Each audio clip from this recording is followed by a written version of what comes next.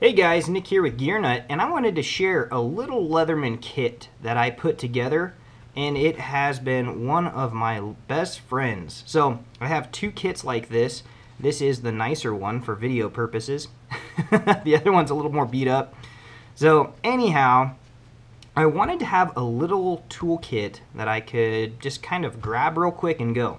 So I keep one of these in my everyday carry bag, and that's this one, and I keep one in my vehicle. So I tell you what, this is like one of the best things that I have put together and that I use. So check this out. This is the Leatherman Charge Plus. This is the sheath that came with it, and I believe that they sell these sheaths separately. So if you do want to have a Leatherman or Leatherman Wave in here instead, or a Leatherman Wave Plus in here, you can.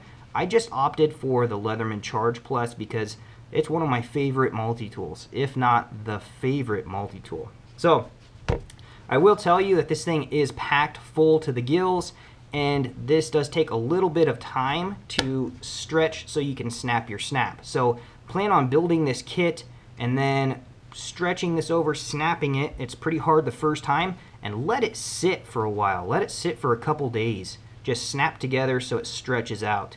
And then after that, it's not too hard to snap that just like so. It will work, trust me. So, anyhow, what do I have in here? I have, and it's really snug and tight, so it's definitely something that if you put on your belt, it's going to be heavy and it's going to be difficult to pull things out. That's why I keep it in the truck and in the everyday carry bag. That's why I don't EDC this on my belt. It's pretty heavy.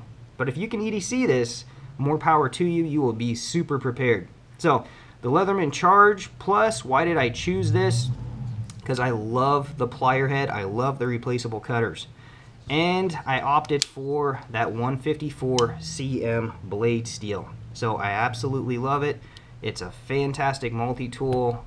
And if I get the option to buy this over a Leatherman Wave Plus, I'd choose I'd choose the Leatherman Charge Plus over the Leatherman, Leatherman Wave Plus. So but if uh, if you have the Leatherman Wave, I have one. I absolutely love it. I do everyday carry that sometimes, so it's in the rotation. It's a great multi-tool. So what else is in here? This is going to be a full Leatherman bit kit.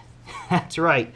That fits in there. I did have some little micro paracord. I think it's, yeah, I think this is micro paracord. I did tie this together on a little lanyard. I have all the bits, even an extra little eyeglass screwdriver bit in here just in case I break one. So it's really nice to have all these bits, especially at the gun range. That's one of the times that it really shines and pulls my butt out of the sling. Can't tell you how many times I'm at the gun range and somebody's scope did not get properly secured and tightened before the trip. So instead of driving all the way back home and making a 16 mile round trip just to tighten that up and go have some fun, I can whip this bad boy out and have some fun. So it's super, super handy. Um, are these bits as strong as some of your other hex bits? No, I don't think they are in my opinion. And let me show you. I also have the bit extender on the other side of this little pouch. It fits like a glove, fits like it was made for it. I absolutely love it. But I believe that if you do put these little 2D bits in a bit extender, you don't get a full wraparound. There's all this airspace right over here on this big old flat portion, and the same deal on this side.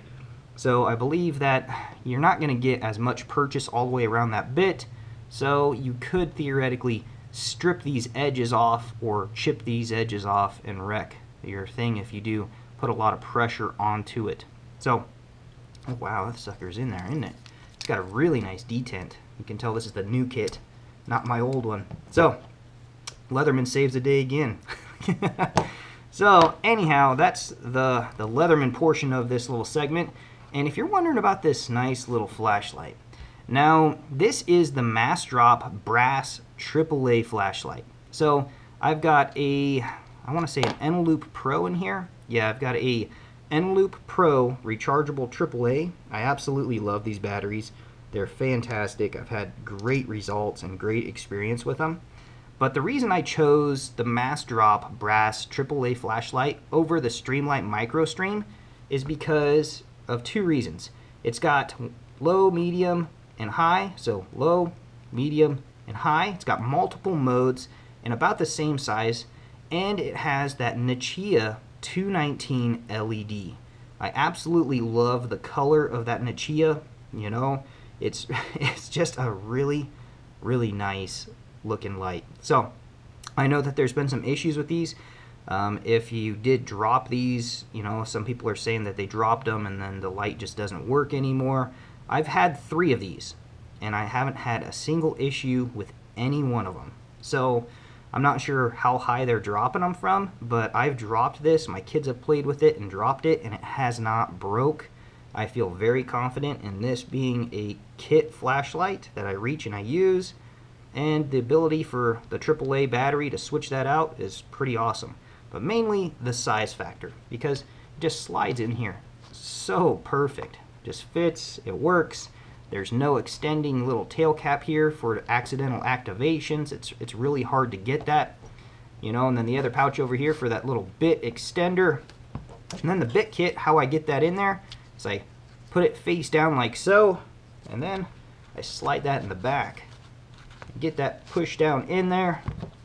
And you take the Leatherman, shut it up, pop her in. It does take a little bit of time for you to stretch it out the first time that you use it. You know, but after you get this little kit stretched out or this sheath stretched out, it fits perfect. it's a it's a fantastic little kit. I would recommend putting some type of a nylon paracord or some type of a tough cord to pull that bit kit out. It'll make your life a lot easier. And if you can belt carry this, more power to you. It is a heavy, heavy kit, but it's right at home in the glove box and it's right at home in an EDC bag.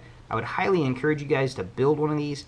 I know that the, the items here are pretty pricey, but I feel for me and my lifestyle as a do-it-yourselfer, I like to fix things, and I don't really like to throw things away. If I can fix them, I'll fix them.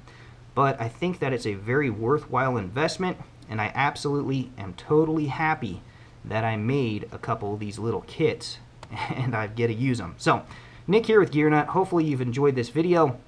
If you guys have any questions or comments, hit me up. I'll try to answer them. I do get quite a few comments, but that doesn't mean that I don't read them. I read every comment. So I'll have a link to where you can try to get one of these brass uh, AAA flashlights if you want to. It'll be in the description box below. And I'll try to have a link to the Leatherman Charge Plus and the sheath that I have here. So that's what I got. Hope you enjoyed the video, and I will check you guys later.